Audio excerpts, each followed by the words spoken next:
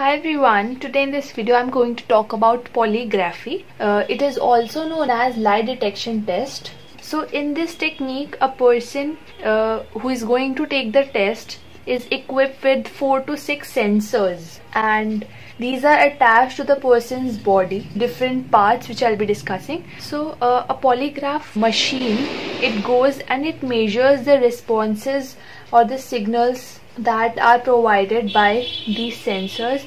And uh, because of th these signals uh, that are recorded a graph is made so this is in short what happens. So uh, there are certain things that these sensors record which includes blood pressure breathing rate pulse and the perspiration or the sweat. These are the four factors on the basis of which the machine makes the graph. Whether or not these uh, factors changes while asking the questions to the person. So sometimes uh, the the things like movement of arm or legs are also recorded but not always. These are the four main things that are uh, that are uh, taken into account. Then after this what happens? Basically i'm going to tell you step by step now.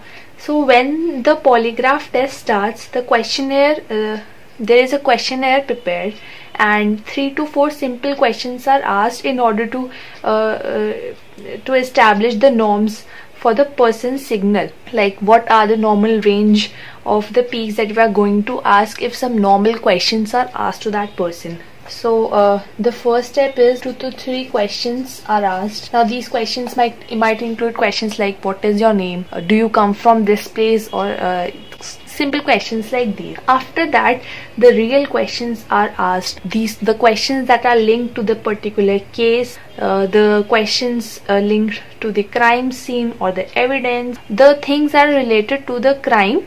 Those things are started to be asked now. So this polygraph test consists of three main phases or stages we can say. The first stage is pre-test stage. So this is the first stage and in this stage the person uh, who is going to undergo the test is informed about the specific issue that is going to be investigated. Uh, the examiner tells the examinee about his or her constitutional right that they have the right to you know tell that they do not want to take this test. And uh, they tell about the complete necessary documentation that is required. They provide uh, the examinee with the detailed explanation of the polygraphic instrument and its principle and about the different uh, components and how the machine is going to work then uh, they ask if the person is having any query or they can ask the question if they want. Then um, they formulate and review uh, with the examinee all the questions that will be asked during the polygraph.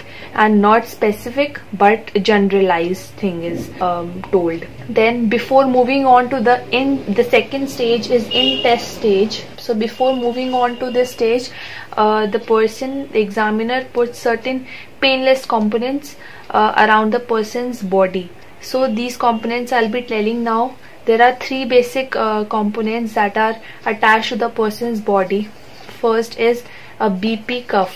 This BP cuff is secured around the examinee's upper hands, upper arms and um, centralized over the basically the brachial artery for the purpose to obtain a, a continuous tracing of, of his or her cardial cardiovascular activities. Then another component is a rubber basically convoluted rubber tube this is uh, also known as pneumograph. These are put around the examiner's chest area and the abdominal area in order to know about the respiratory activity of uh, the person. Third component is electrodes. These electrodes are the, the these produce uh, these electrodes are with an insulated seating known as the galvanometer that are attached to the uh, tips of the fingers and it traces the electrodermal activity of the person. Then after all these uh, components are applied the in test stage basically starts and all this was happening before uh, the pre before uh, the in test like in between after all this is done the pre stage in test uh, stage starts. Now in this stage the polygraph examination takes place. Once the examinee is under the examiner is going to ask questions. Now these questions will be asked in different sets. There are three different tests each will that will last for 5 minutes and a maximum of 6 tests can be performed. Now 2 minute relaxing time will be given in between each test. After completion the examiner will interpret or evaluate the results of the graph that is obtained and uh, the examiner will form an opinion on the basis of the result that is obtained. So the opinion is given in three forms which is NDI, DI or INC.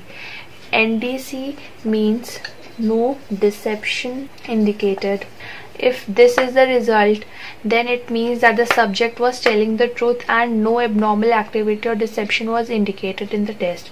Then comes DI, which is deception indicated which means that certain kind of fluctuation was seen in the graph and the person is not telling the truth. So this is telling truth lying and inc means inconclusive that the that the examiner is not able to conclude whether or not the person is telling the lie or the last stage is the post phase test so in this period the examiner will tell the examinee about the result that they have obtained and uh, they will show the graph. They will tell them what that means and they will also give them a chance to you know if there is any kind of fluctuation in the graph they will uh, give them a chance to speak on their behalf so as to why that kind of fluctuation is seen if they have any reason. Then a written report containing factual accounts of the information developed uh, as well as the examiner's professional opinion uh, based on the analysis and the interpretation or the evaluation of polygraph result will be given. So uh, this is all about polygraphy. Uh, also polygraphic result that are obtained are not admissible in the court that is they do not count as uh, an evidence. So it is not very much useful but yeah uh, the police officers or the investigator officers can get an idea as to whether this person is a suspect or not. So these are all the things that you need to know about polygraphy.